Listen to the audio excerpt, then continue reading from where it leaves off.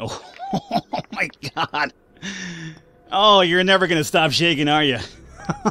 that is one way to go down. Alrighty, may you rest in peace now, my friend. Welcome everybody to the Falcon One Shot. On the agenda, we have Hard Reset Redux here today. This right here is essentially the definitive version of Hard Reset, which first came out in 2011, if I'm correct over here. I've actually owned the original title on my Steam library for ages now. I'm pretty sure I picked it up for maybe a dollar and like one of the many Steam sales per year. Um, what's really cool about this though, if you own the original version, you actually can upgrade to the Redux version for about $3 if I'm correct over here. So there is that. Um, I'm not going to talk to you about my impressions or feelings about Definitive Edition of games. That's recently the latest craze in video games. Like every game that came out like maybe four or five years ago has to come out later on with a definitive edition. But I'm not here to talk about that. I'm here to talk to you just about Hard Reset as it is at the moment. Now, when it comes to the original title, even though I haven't played it myself, I've always heard mixed feelings about it. People either enjoy it a lot, or people just don't really find it to be too intuitive or just too impressive. Um, I've been playing the Redux version here so far, and I've had a lot of fun with it, at least. The gameplay seems pretty fun. The atmosphere itself has got that whole cyberpunk thing, which I'm kind of a sucker for, so there is that. And the gunplay has been pretty fun as well. The weapons are pretty interesting, how the way you could use your, the environment to your advantage as well against enemies, so there is that. But instead of talking more about it, let's get into the game and show you what it's all about here. So we'll go into new game. Um, I should note I have everything maxed out and the game runs perfectly fine at 60 frames. I haven't really experienced any sort of lost frames, so at least it is optimized properly with the um, whole new remastered look to it as well. So we'll go into new campaign over here. January 17, 2436. Sector 6, European District, Bazaar City.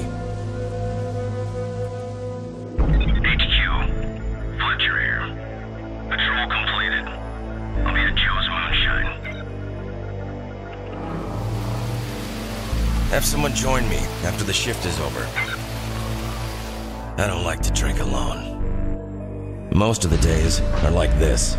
I'm a proud soldier of the corporation. Others like me are made by the PR department to be sentinels of the sanctuary, the defenders of Bazaar. Amusingly, I do it for the money. We defend the sanctuary, a network that holds billions of digitalized personalities of human beings. The machines are our enemy. The corporation's eggheads proposed a theory implying the existence of an unsurpassable evolutionary limit of the current AI. The sanctuary is the possibility of the machines to break this limit.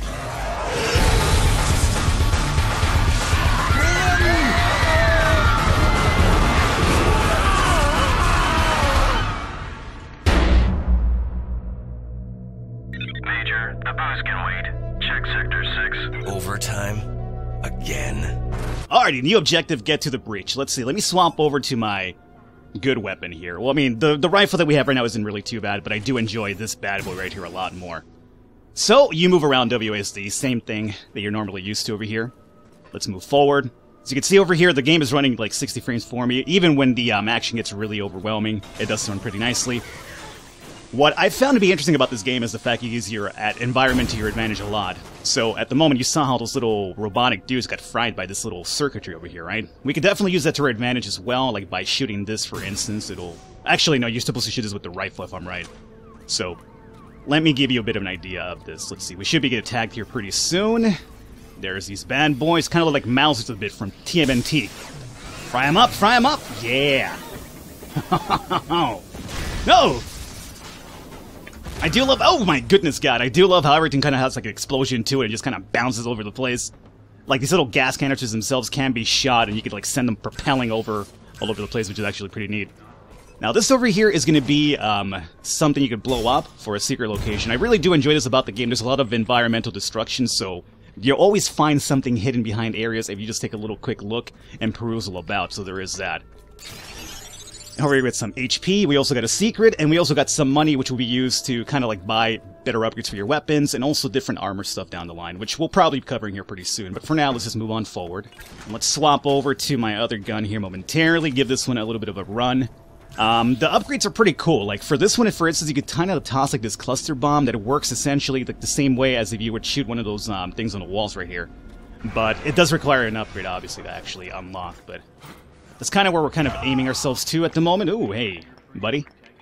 Oh, my god.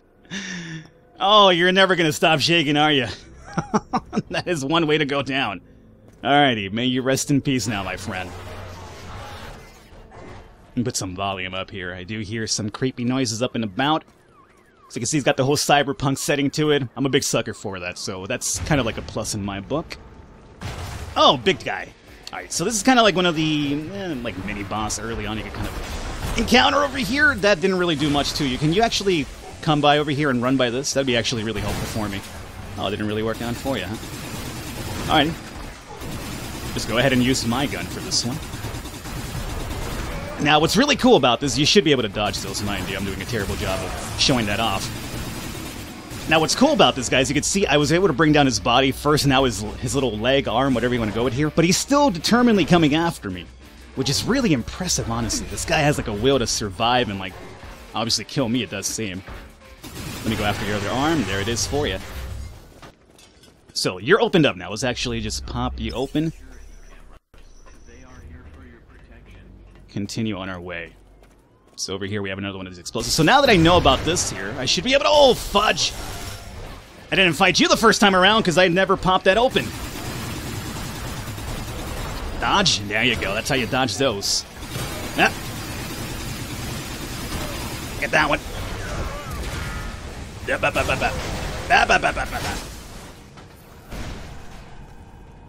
A lot of shit just blew up behind me. and I'm pretty certain everything is dead over here, which is great. Alrighty. Pick up some more ammunition over here. And the rewards are definitely worth it for some upgrades. Perfect. Let's go and... Mmm... You should have heard that one. So as you can see, the blowback of certain items can indeed hurt you. Right now we're taking some damage just by hanging out too close to the explosion. There's another one over here, so let me just get back as far as possible, and I'll just hang out back here if you don't mind. Excellent. Yeah, I completely missed this the first time around because I wasn't aware of that little top explosive up here. That is actually pretty neat. Mmm, I do believe this is pretty much it. You can interact with this here for some news. It does seem some more of this, um, I don't know, digital AI propaganda happening around here. Shop for an identity. But for now, let's actually just go forward. I want to wrap up this first mission for the video at the very least here. So there's like two ways to actually proceed with this level. I normally go down this side, but I do want to pick these upgrades up here. Uh, you can blow that up, but there's no secret behind there. How you doing, buddy? No, you were supposed to be shot with your other friends, like Silkk the Shocker. There you are. That's the... Oh! Good God almighty. Still a lot of you guys around, huh? That's, by the way, a No Limit um, reference right there. You guys remember No Limit Soldiers, right? With Master P? Silkk the Shocker? or maybe if you don't, then uh, it might just date me even more because a relatively old man when that thing was at the height of its popularity. Assuming No Limit Records... Actually, you know what? Let's be honest here. No Limit Records was popular at some point. I can't even deny that. Why? I don't really know, but it was pretty popular. And over here as we get your upgrades to your overall character, get some more guns, guns upgrades, etc. There is another item back here. If you will allow me to proceed back here, great. Thank you very much.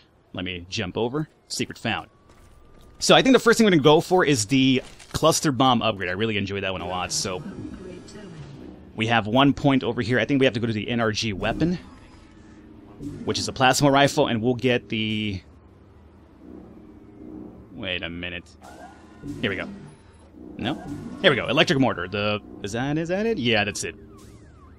So this is essentially an upgrade to the gun that we have over here equipped at the moment that we're using. So um, I really like this one a lot. Let's go into installing that.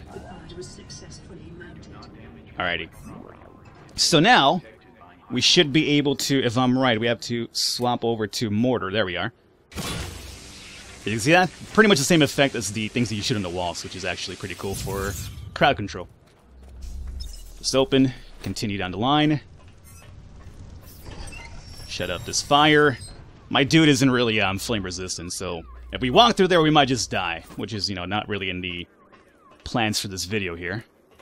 Alright, so over here we have like a pretty crazy, like, I guess like, quote-unquote, the first boss fight of the game. Oh, baby. This guy. So we're gonna have a lot of dudes coming after us right now. And this is where it gets really, really crazy. So you have to definitely use your environment around you.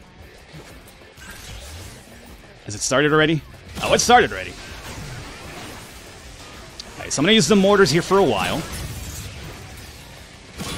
There's gonna be a lot of these guys coming at us. How did you how did you make it past? No, no, no, no. Now, you're probably noticing how the mortars do cost more bullets than just a regular shot. So you definitely want to be a bit more poignant with the use of it so you don't run out of bullets here too fast. Speaking of which, let's go ahead and... Oh, here comes the big bad. Booty Daddy. Alright, so far so good. He's rushing. Definitely rushing. We're far from done, mind you. Get this HP, get some more bullets as we can. Could be using some of the other guns, but once I get the mortar, you know, I have so much fun with this gun. so It's kind of like, you know what, let's just hang out with this a bit further here. Something blew up behind me. Alright, let's go back to plasma here momentarily. Uh, oh. You gotta go down at some point, my friend. Ooh, nice dodge. There he goes. I don't think that's it, though. Here we go.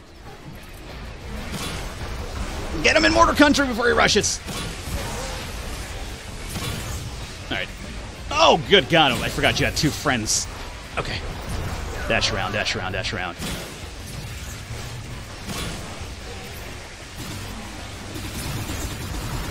See, the way that you guys are hanging out in that little pile right there doesn't seem to me you should be alive still. I should need a dash out the fucking way, too. Nope. Nope.